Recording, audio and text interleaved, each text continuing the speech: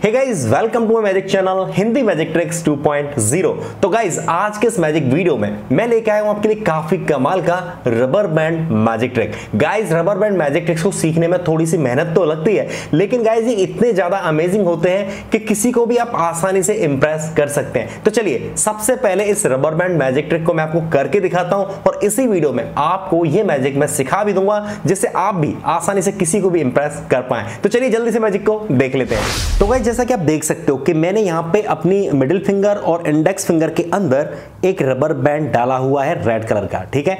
तो गाइस क्या ऐसा हो सकता है कि अगर मैं इस रबर बैंड को यहाँ पे खींचूं तो ये रबर बैंड खींच के इस मिडिल फिंगर के अंदर से पार होते हुए मेरी इंडेक्स फिंगर में रह जाए?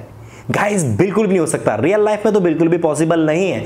लेकिन ये मैजिक से सब कुछ पॉसिबल है। तो चलिए गाइस इस मैजिक को पहले मैं आपको करके दिखाता हूँ और इसी वीडियो में ये मैजिक मैं आपको सिखा भी दूँगा। इसलिए वीडियो के एंड तक देखते रहिए। तो चलिए गाइस यहाँ पे मैं करता हूँ थोड़ा सा मैजिक आवरा का डाबरा गिली गिली छू। तो अब मैं इस रबर बैंड को खींचूँगा और खींचने के बाद आप देखोगे कि ये जो रबर बैंड है, मेरी सिर्फ़ इंडेक्स फिंगर के अंदर चला जाएगा। ठीक है? वन टू एंड थ्री तो गाइस देखा आपने कि कैसे रबर बैंड सिर्फ़ मेरी इंडेक्स फिंगर में चला गया है। तो गाइस कैसा लगा मैजिक नीचे कमेंट्स करके मुझे ज़रूर बताएँ। तो गाइस इस मैजिक को सीखने से पहले आपको करना एक छोटा सा काम, मुझे सपोर्ट करने के लिए इस वीडियो को लाइक करके फेसबुक और व्हाट्सएप पे शेयर ज़रूर करें।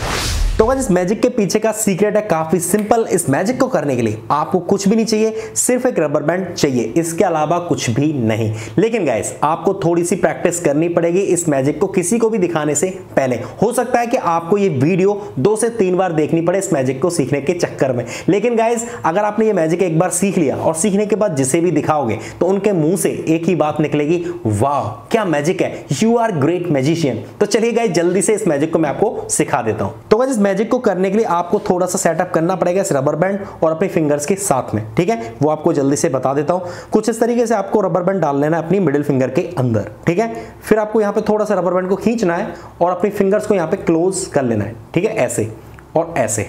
और फिर आपको यहाँ से रबर बैंड लाना अपनी मिडिल फिंगर के अंदर और इसे डाल देना है अपनी इंडेक्स फिंगर के अंदर भी, ठीक है? देख सकते हो। अब आपको ऐसा लग रहा है कि इंडेक्स फिंगर और मिडिल फिंगर के अंदर ही रबर बैंड है, लेकिन यहाँ से पीछे से देखने से पता चल रहा है कि ये सिर्फ़ इंडेक्स फिंगर के अंदर है, ठीक है? तो जब हम इसे खींचते हैं, अब आप देख सकते हो कि यहाँ पे रबर बैंड यहाँ पे छिपा हुआ है। थोड़ा सा खोलता हूँ तो देखो यहाँ पे रबर बैंड छिपा हुआ है। तो यहाँ पे थोड़ा सा इसको क्लोज करते हैं। तो ऐसे अब दिखाई नहीं दे रहा, यहाँ पे वो छिप गया रबर बैंड ठीक है?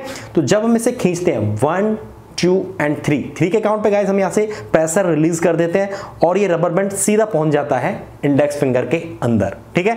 तो गाइस मैजिक आपको कैसा लगा? आई होप ये मैजिक आपको काफ़ी ज़्यादा अच्छा लगा होगा। अगर अच्छा लगा है तो नीचे कमेंट्स में मुझे ज़रूर बताएँ।